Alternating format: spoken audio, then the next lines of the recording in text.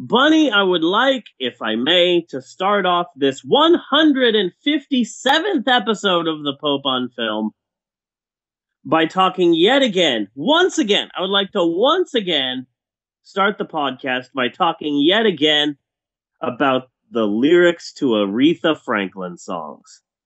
Oh yeah. Oh, this is a Oh, long how many standing. times? It, it always seems when it turns to winter, your heart goes to Aretha Franklin.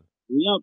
Oh, how many times I've started this podcast discussing the lyrics to an Aretha Franklin song numerous times across numerous episodes. And if you don't know that, then sorry, but you're not really a fan. Yeah. So suck it. yeah. So, so this always bugged me. Her classic song, Respect. Uh huh. You, you know that song. Everybody knows that song. It's a wonderful song. Uh, interesting aside before we get to the lyrics. Did you know that it was originally written uh, for a man? Yes, I do. Yeah. Yeah. By it- the oh, by the way, just a very quick aside. When you Yes. do things like this, stories like this, I think maybe you should call them Mandela smatterings.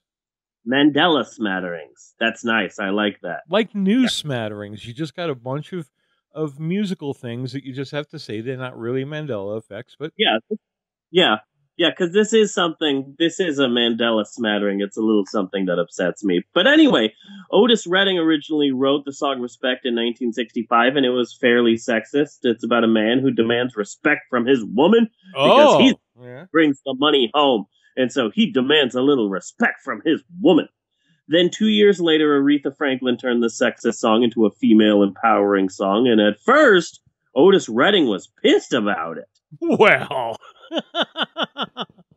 Eventually, he having to he- take that shit from an uppity woman. Yeah. Yeah. Can you imagine like he writes this song and everyone goes, Oh, that's a pretty good song. And then someone else gets the song and then rewrites it for women and suddenly everyone goes, This is the greatest song ever written.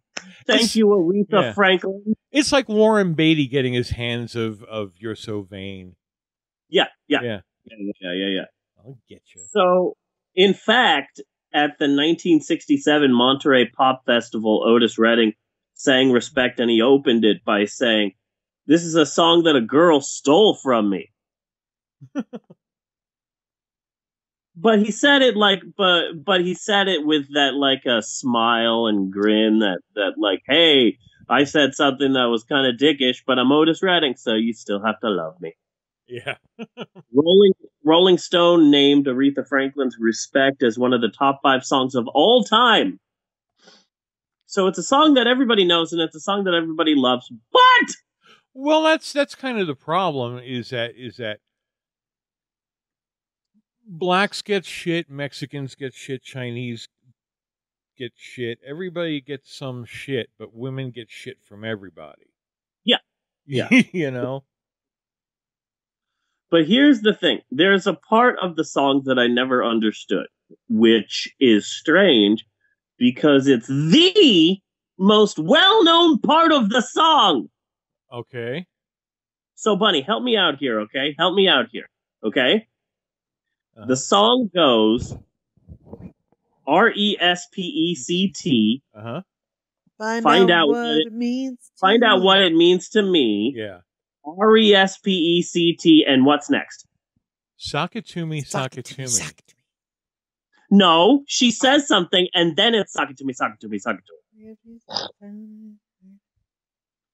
Oh, it's that garbled stuff that you don't understand. Yeah, garbled stuff.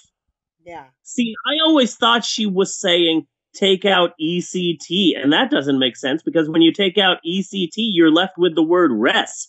Okay. And what is resp? What is she trying to say? Uh, You want respect, but you you don't want full respect, so you just want resp. That doesn't that doesn't make sense. What is resp?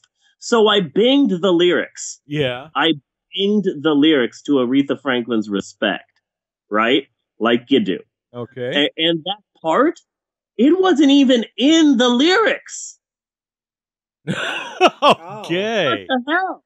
Like, what the hell, Bing? So I did some digging, and by digging, I mean I just finally used Google. And so I eventually found that missing lyric. So the song goes R E S P E C T. Find out what it means to me. R E S P E C T. Take care. TCB. But then, Okay. but then, but then, what does that mean? Take, take, taking TCB, taking care of business. But then, why would she say take care, taking care of business? That makes no sense. That's repetitive.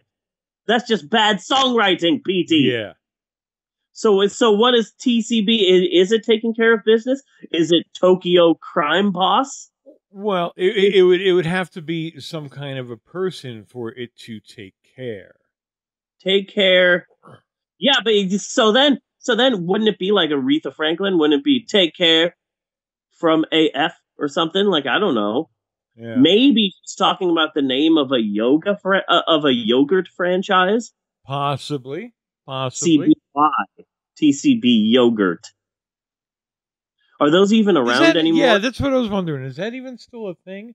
Are there And yogurt Har- places? Har- Honey, do you know if there are any yogurt places anymore? There is. Yeah, Yes, frozen yogurt. Mm-hmm. it's it's not Yeah, all gelato now. No, there's a frozen yogurt about place over by uh, the Dollar Tree.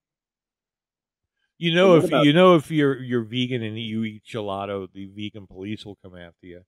yeah, yeah, yeah. Like yeah, like uh, like in uh Scott Pilgrim. And like I don't know, I don't know if I should show Jeannie this movie or not because she's she's only good for a movie once or twice unless it's really something good like Guardians of the Galaxy. Because Scott Pilgrim just fucking grows on you. Yeah, it does. It's a great movie. I really wish that Scott Pilgrim had been a success. Rolling Stone did a, a review of it where it said that it was a game changer, and I can't imagine. I I I like to fantasize about a world where Scott Pilgrim was a huge money making success. Yeah. Like Yeah. I like, and I- and I'm I- sorry, I'm sorry. I'm, I hate when You know? people like Rolling Stone misuse phrases. yeah, It's not a game changer because the game hasn't changed. but it could have been a game changer if it was a success. If it was a su- su- success, yeah. Yeah, if this Yeah. film Like made like somebody had once called Ray Oh. Harryhausen a game changer, and I'm like, no, he's not, because the only one who did Ray Harryhausen was Ray fucking Harryhausen. you Yeah. know? And another thing, uh, are there still Hardee's? Uh, I think all, all Hardee's are Carl's Juniors. Okay. Because in in Phoenix we had Carl's Juniors, but then in Tucson, in Tucson they had Hardee's, and that's how you. That was one of the many ways you could tell if someone was from Tucson. They would go, "Oh, where's the nearest Hardee's? Oh, it's in Tucson, you son of a bitch! Get the hell out of here with your Hardee's crap." Oh, I figured out what TCB stands for. what? Figured it out. Tickle Carmen's balls. Tickle Carmen's balls. Carmen, the 80s Christian musician and idol buster, Ah, he likes his balls tickled. I, I I would imagine. So, this but is but, a but just for our listeners so that they realize if sometime in February the Rev starts talking about um, Roberta Flack, Oh, yeah. then that means six more weeks of winter. Pretty but much. he's if he's still on Aretha Aretha Franklin, spring is soon yeah.